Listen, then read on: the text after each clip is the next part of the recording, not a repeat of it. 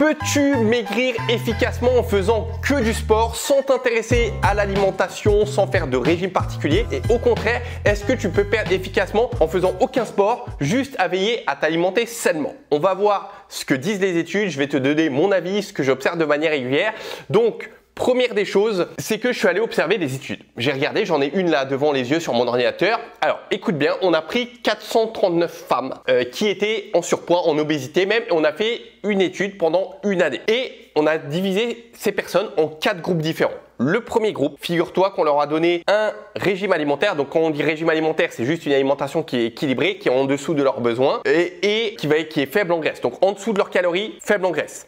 Deuxième des groupes, c'est qu'elles ont effectué une activité euh, physique modérée, 5 euh, fois par jour. Donc c'est ce qui a marqué. Voilà, il y a marqué 45 minutes 5 fois par jour, donc une bonne fréquence. Donc ça c'est le deuxième des groupes. Troisième des groupes, combinaison des deux, c'est-à-dire la bonne alimentation en dessous des besoins, faible en graisse et l'activité physique. Et le dernier des groupes, aucun changement, faites ce que vous voulez. Et on a observé ça pendant une année. Ce que ça a donné au bout de 12 mois, c'est que le premier groupe euh, déjà, je te pose la question, quel est à ton avis le groupe qui a perdu le plus? Est-ce qu'il y a un piège Est-ce que c'est plus ceux qui ont eu la bonne alimentation? Est-ce que c'est ceux qui ont fait donc bonne alimentation sans faire de sport? Ok, faites ce que vous voulez. Est-ce que c'est ceux qui ont fait le sport à fond, puisque c'est une bonne fréquence, mais qui ne se sont pas intéressés à l'alimentation Est-ce que c'est les deux combinés? Est-ce qu'il y a un piège quelque part Ou est-ce que c'est ceux qui n'ont rien fait? Alors, mettez mise et on voit les résultats. Alors, première des choses, le groupe, le premier groupe qui a veillé juste à l'alimentation a perdu moins 8,5% de plus que le groupe qui n'a rien changé. Voilà. Deuxième des groupes ceux qui se sont intéressés juste à la partie sportive, sans faire attention à la partie alimentation, ont perdu moins 2,4%. Donc ça fait une différence. Et le groupe qui a combiné les deux a perdu moins 10,8%. Donc, comme tu constates, et c'est la conclusion de l'étude, c'est qu'au final, ce qui recommande, c'est de combiner les deux. Donc, pas de surprise un peu dans cette étude. Et ce qui est intéressant d'observer, c'est qu'au final, la partie activité physique a bien moins d'impact que la partie alimentation. Et c'est également mon avis, sans avoir observé les études, mais par rapport à mon expérience personnelle que j'ai eue à un moment donné quand j'ai essayé de faire ma transformation physique, que pendant des semaines, des mois et même des années, puisque j'ai essayé pendant sept années consécutives à essayer de perdre mon ventre, mes hanches, poignées d'amour, euh, pour arriver à l'objectif visuel que je souhaitais, et eh bien en fait j'ai effectué plein de Régime différent, d'alimentation différente, hyperprotéinée, très faible en glucides, j'enlevais le gras, je faisais différents types d'activités physiques, donc la partie euh, aérobique. Alors juste une petite précision par rapport à l'étude qui a été menée, donc on leur a donné une activité physique de type aérobique. C'est pas ce qu'il y a de mieux pour aller brûler efficacement des graisses. Je pense que si on leur a donné une activité qui, est efficace, on aurait eu vraiment de, de bien meilleurs résultats pour les personnes qui ont effectué juste la partie sport sans alimentation. Mais malgré tout ça, je suis convaincu que la partie alimentation a plus d'impact.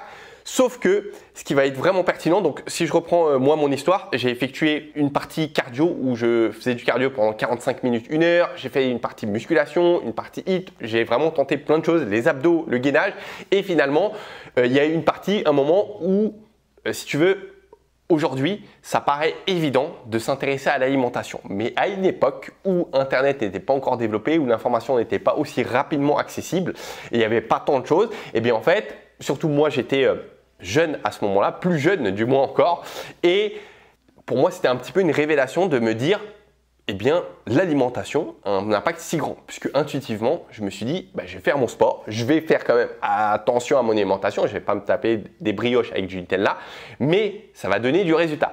Et contrairement à ce que je pensais, les résultats n'étaient pas au rendez-vous. Donc, je mettais beaucoup d'énergie, d'investissement, j'y allais à fond et ça portait pas ses fruits.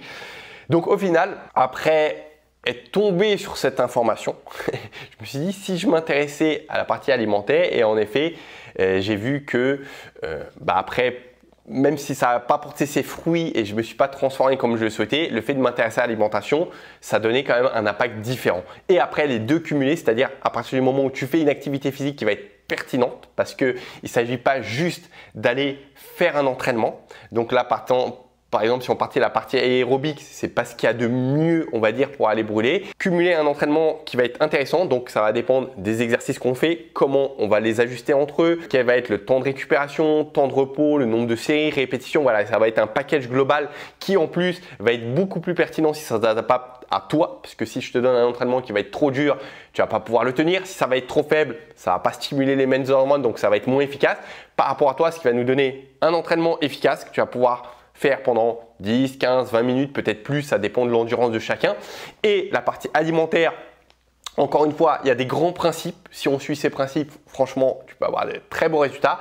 Si on veut aller encore une couche plus profonde, on peut aller faire quelque chose de beaucoup plus adapté, mais vraiment avec comme ça des principes globaux euh, sans se prendre la tête, sans savoir forcément à, à peser ton alimentation. Vraiment, les deux cumulés, ça peut donner une fusion juste sensationnelle. Puisque faut bien comprendre que la partie activité physique, si tu veux, ça va te servir à stimuler certaines hormones, à aller déloger certaines graisses qui vont permettre d'être en libre circulation dans le sang. Ça ne veut pas dire qu'elles sont perdues, ok? On a juste euh, créé de la chaleur pour aller euh, les... Si tu veux, faut voir les graisses comme un stock. Ok, ce stock, il est là, il est présent. L'activité physique va les rendre disponibles. Ok, on a besoin de ce stock parce qu'il y a une activité physique qui est bien présente, ça stimule certaines hormones qui envoient une information qui leur dit allez, on part, on a besoin euh, de, de, fournir beaucoup d'énergie, donc les graisses sont là en termes de stock.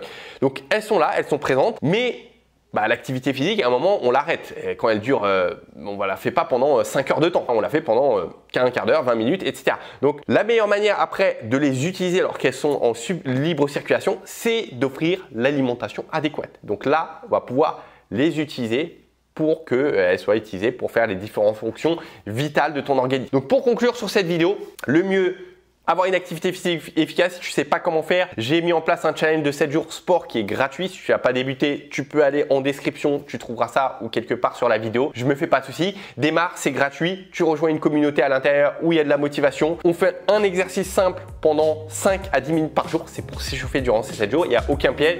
Démarre, rejoins-nous et sur ce, je te dis à très vite et n'oublie pas, ne lâche rien dans ce que tu fais.